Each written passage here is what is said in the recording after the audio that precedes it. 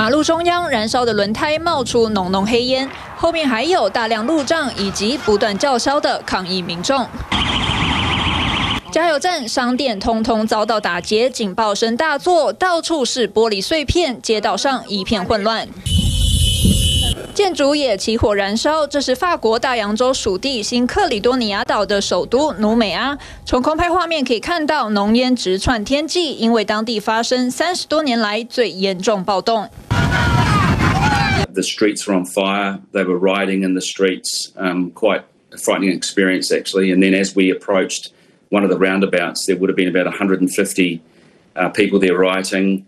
这起暴动起因于修宪案将立法允许当地居住十年以上的法国居民拥有投票权，引起独派原住民卡纳克人反弹。On espère que notre voix, notre dignité, notre fierté d'être un peuple, le peuple de Kanaki, soit écoutée au niveau de de l'Assemblée nationale. 法国已经调派宪兵队前往，并关闭当地机场与学校，首都实施宵禁。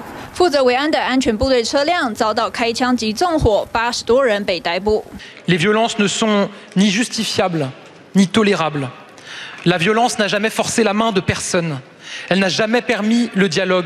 新克里多尼亚岛是法国在印太地区发挥影响力的重要属地，当地选举人名单已经二十五年未更新，导致五分之一的居民没有投票权，这也是这次要推动修宪的主要原因。TV 的新闻综合报道。想看最完整的新闻内容，记得下载 TVBS 新闻网 APP。